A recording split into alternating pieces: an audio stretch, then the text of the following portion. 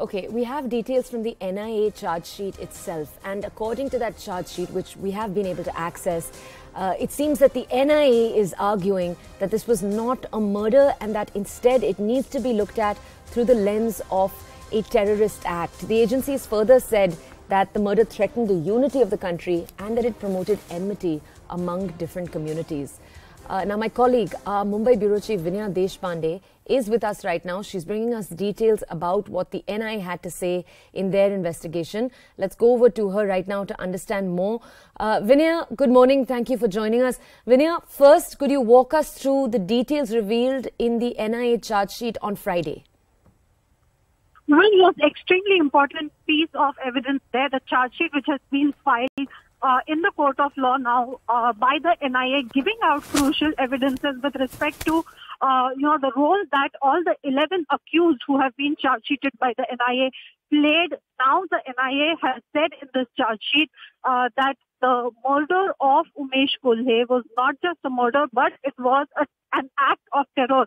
In fact, uh, NIA also gone ahead to say that all these 11 members formed a terror gang in order to make an example out of the Amravati killing. Uh, this was ostensibly the NIA says done because uh, Umesh Kolhe had supported Nupur Sharma. Not just Umesh Kolhe, but three others were also threatened, is what the NIA has claimed in the charge sheet. In fact, crucial pieces of evidence given in that charge sheet uh, we have been able to access the synopsis exclusively in which uh, we can show how uh, the NIA has given the cell tower location of the several accused involved in this conspiracy uh, to prove that they were around Umesh Kolhe uh, when murder took place. In fact, uh, you know, one of the main accused, the main conspirators, Dr. Yusuf, who's a veterinary doctor, uh, the NIA has claimed that he was a part of a WhatsApp group uh, through which the accused met and thereafter they planned the conspiracy.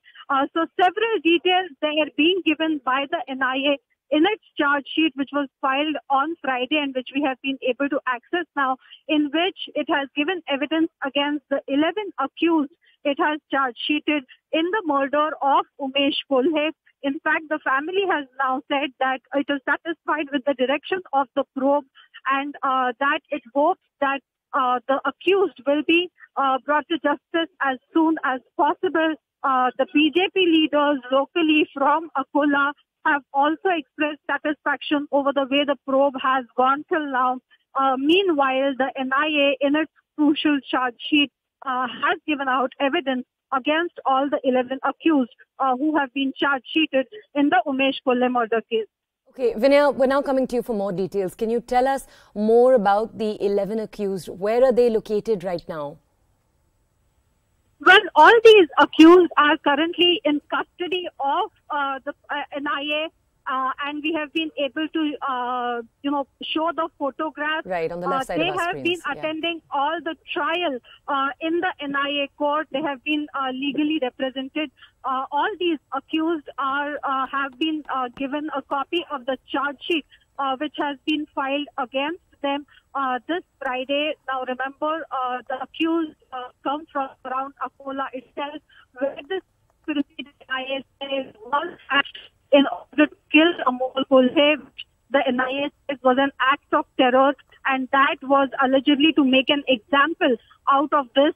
Uh, so as of now, all the accused are, uh, all these accused are in uh, NIA custody and uh, they have been facing trial after the charge sheet has been filed. Uh, the NIA uh, will take this up further. Okay, Vinaya, I also want to come over to you for more context on the Tablighi Jamaat. I just want to tell our audiences the Jamaat is a Sunni movement. It aims to reach out to ordinary Muslims and revive their faith, particularly in matters of ritual. But Vinaya, I want to understand from you, in Maharashtra in particular, how widespread is the practice of the Jamaat? A and B, is this the first time that the Jamaat has been named in any case by the NIA? Uh, well, we know that uh, the Tablighi Jamaat, which is uh, which the NIA claims are the radicalized Islamists uh, who have been involved in this killing, uh, is an organization uh, that has been banned, and we have seen that the Tablighi Jamaat, you know, it, it has faced uh, a ban at several locations. In fact, uh, the Tablighi Jamaat has, has been banned in some of the Central Asian countries as well.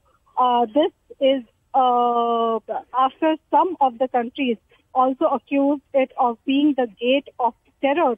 Uh, so as of now, we have seen that even last year there was uh, this uh, huge controversy that was surrounding uh, the Tablighi Jamaat, which was at the center of the controversy in India after dozens of people who had attended uh, a religious congregation of the group at its headquarters in Delhi in 2020. Uh, you know, after they had tested positive for COVID, there was a whole controversy around it. Uh, the Islamic Missionary Organization had made headlines uh, even after it was banned in the Kingdom of Saudi Arabia.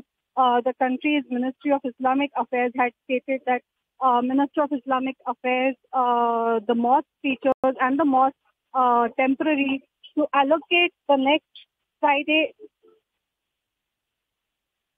I beg your pardon. Uh, so we have seen that the Okay, could I just could I just ask you, Vinaya, to stay with us? We have the uh, we have Ram Kadam from the BJP with us right now on the phone. I want to go over to him very quickly to understand more about the BJP's response. Sir, good morning. Thank you for joining us here on CNN News 18. Sir, the NIA in its charge sheet on Friday saying that 11 of the men responsible allegedly for murdering the 54-year-old Amravati resident were radical Islamists of the Tablighi Jamaat.